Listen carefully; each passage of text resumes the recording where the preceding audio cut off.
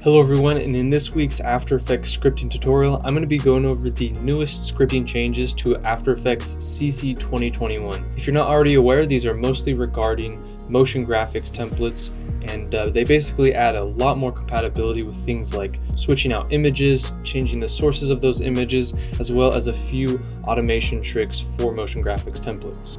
Before we get started, I do want to remind you down below, hit subscribe and the bell icon to be notified of new videos coming out twice weekly on the channel. And down in the description, you can check out the code for this in the GitHub link. Be sure to also follow us there for coding updates as I always upload code on there way before the videos themselves. If you're not already a member of the Discord server, you can join and get help with scripting, extensions, plugins, expressions, and many more things.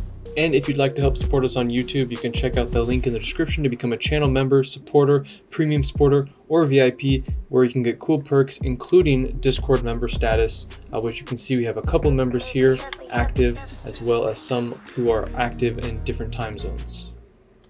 So let's go ahead and dive straight into this quick tip video as there are just a few things to go over in terms of the updates. If you want to check out the updates for yourself, you can go to the After Effects scripting guide. Uh, I'm just using the PDF version, but if you go down to the change log, we can see all of the After Effects 18.0 or March 2021 updates. And they pretty much are just all regarding media replacement, but it is quite a feature that they've added, so let's go over these. In order to basically reference these, you first need an AV item. Essentially what this means is that an AV item is any project item over here in your project panel that has some kind of audio video. This could be an image, uh, a music file, or a video. And one of the most common ways to access this, of course, is by saying app.project, and then you want to grab whatever the number of your item is. So in this case, if I wanted to grab this JPEG file, this would be item number one, and if I wanted to grab this audio file, this would be item number three in our project panel. So that's the easy way to grab those. So the first method that we have in our new feature is, is media replacement compatible? This essentially checks if whatever AV item you're providing is able to be swapped out with any motion graphics imagery. This property is read only, so you can't really change if you want something to be uh, replaceable. It sort of just depends if it's an actual solid source or a piece of footage with a file source. The next thing we're going to go over are a couple of useful methods. The first of which is add to motion graphics template. If you've ever used a script before to add things to a motion graphics template, this is very common, but now of course we have the ability to add an AV layer type. Instead of referencing the project panel, which contains AV items. An AV layer is whatever one of these items is represented inside of a composition. So I have this music file here.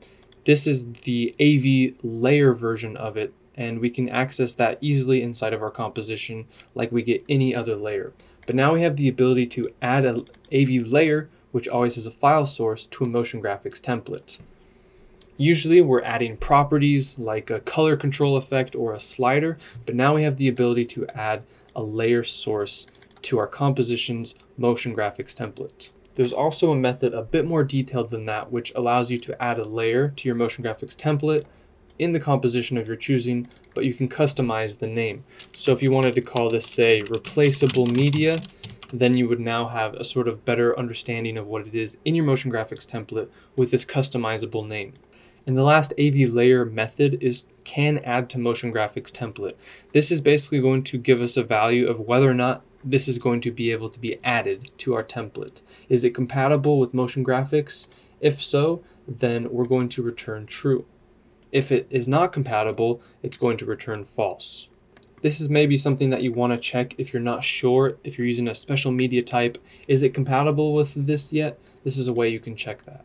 Now let's go ahead and move on to our property uh, methods and attributes that have been added, which essentially are also involving our motion graphics template. If you're not familiar, a property is anything that is basically an effect or a value of some kind of sub-property of your layer. This could be something inside of here like intensity or tint amount, or another example of a property could be like position, scale, or even source text. So Properties can not only refer to those kind of things, but they can also refer to motion graphics templates themselves. For example, if I add this image into my motion graphics template, which is sort of the big new feature, by default, this needs to have some kind of alternate source. So that way, if it's missing or there's an issue, it can basically use that. Now, alternate source is a read-only property, so this is just to tell you what the alternate source would be. Um, so this is going to return a read-only value. You can't set what the alternate source is, but in a few lines we'll get there. So if you have uh, an image or some kind of AV item or layer added into your motion graphics, this is going to be whatever the alternate source for something that goes wrong. Then we have can set alternate source. This is going to be useful to tell us, and this is only read-only so we can't change it, but this will tell us if our essential graphics property supports this kind of media replacement um, inside of here. Again, there are only a few limitations of what can be replaced, but in general, if you have an image or a video in a pretty normal format, you shouldn't have an issue with this. But this will return a true or false. True, of course, if it can be uh, an alternate source set, or false if you cannot set it. And lastly, the method itself so that we can change the source is set alternate source. This just requires a new source which is going to be equal to an AV item object. That's just going to be another piece of footage inside of here.